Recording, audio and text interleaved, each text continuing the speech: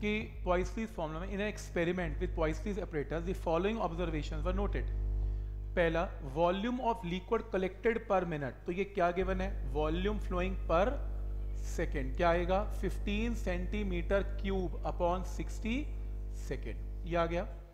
Next है head of the liquid head of the liquid का मतलब height of the liquid height of the liquid से क्या आएगा? डेल्टा पी कितना? एच रोजी तो लिक्विड की आपको इसमें डेंसिटी पता है 2.3 तो हाइट कितने गिवन है इसमें 30 इंटू सी में 2.3 सीजीएस में 980 सीजीएस में।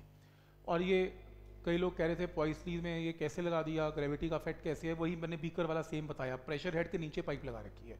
तो ये ना कन्फ्यूज़न क्रिएट करती है, अगर ना बताया हो, कि वो एच कैसे आया। तो सीधा आपने एच लेना है। डायमीटर ऑफ़ द ट्यूब क्या हो जाएगा? R is equal to zero point one centimetre हो जाएगा। आपको ईटा निकालना है। तो पॉइसलीज फॉर्मूला लगाएँगे।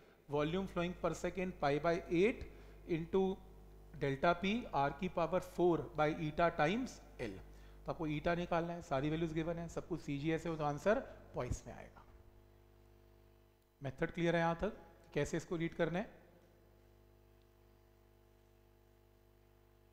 ठीक। तो इसके अंदर ये सारे फॉर्मुला बेस्ड क्वेश्चंस हैं पाइप के क्वेश्चंस हैं 59 नंबर शीट आपकी होमवर्क है। इसको आप ट्राई करनी है।